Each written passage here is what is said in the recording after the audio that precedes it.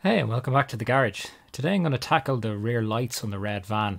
As you can see, uh, the old light units are looking pretty tired and ropey, so I'm going to replace them with something a lot better. Now these are the lights that were the light units that were originally on the van when I got it, um, and these are the new uh, the new light units that are going to be put onto the van to replace them. Now I have the uh, old um, light lenses here and uh, the new ones. So you can see uh, straight away like the major kind of difference between the two types. Um, this one is this one here is like a smoked one.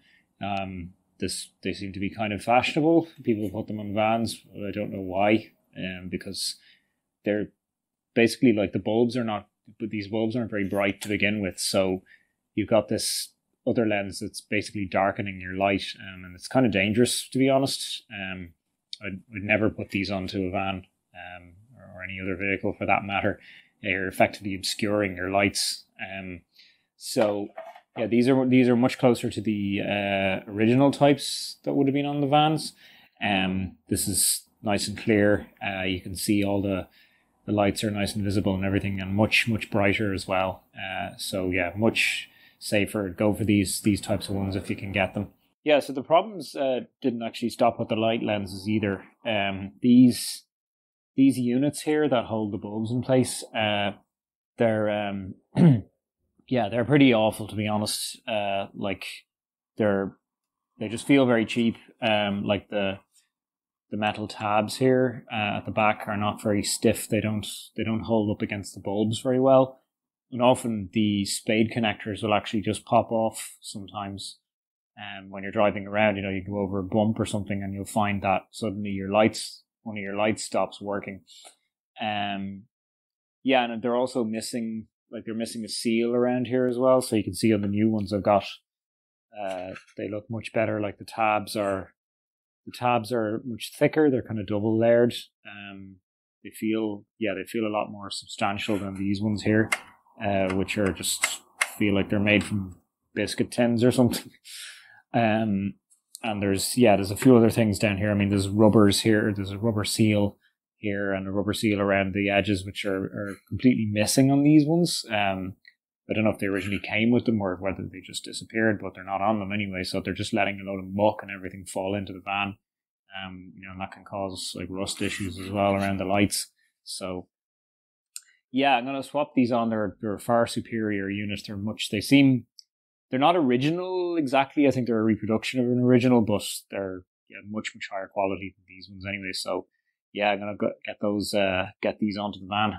It's also easy to uh, tell apart kind of the difference between the late bay light units and the early bay ones. Uh, this uh, this came off the green van, and this is like an, a unit from an early bay.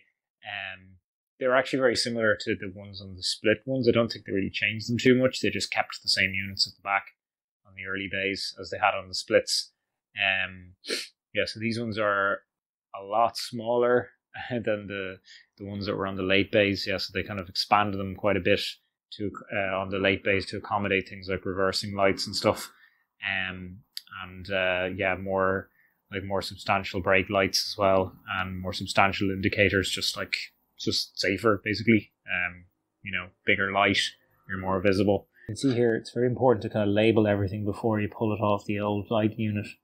Um, yeah, just label all the wires um, because it kind of get a little bit confusing when you're connecting everything back up again. Um, yeah, so we'll just we'll start from the bottom here. Um, we'll uh, we'll plug in the reversing light. That goes in there. And then we come up here to this is this is like a double filament bulb that goes in here. So you've got filament is the main light, um, and one the other the other filament only comes on when you press the brake pedal. It's like your uh, it's like your brake lights. So we put um put the brake light connector on here.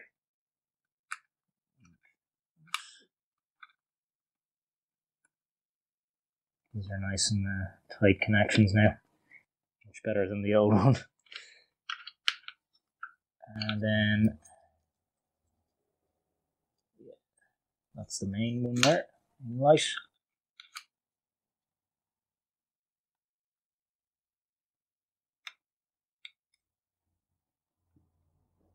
yeah. next one is the all-important ground. Nothing's going to work without a ground. So tight here to get everything was out of the van. There we go. And then, uh, last but not least, is the uh, the indicator. Now, just putting the bulbs back in now. Now, uh, before we reattach everything finally to the van, um, it's always a good idea to check that everything, that all the lights are actually working, um, so you don't have to go pulling them back off again. So, um, yeah, we'll do that now.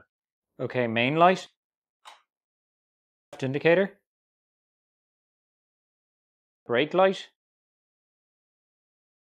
reversing light. Okay, looks like all the lights are working. Now, I'm going to put the uh, the light lens back on here. Um, I've already reattached the light unit itself back onto the van.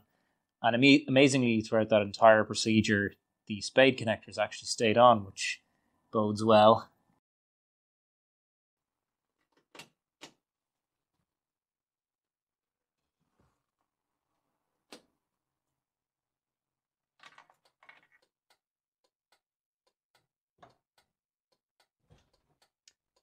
That's it. All the lights are working. So uh, once again, thanks for watching. Hope you enjoyed.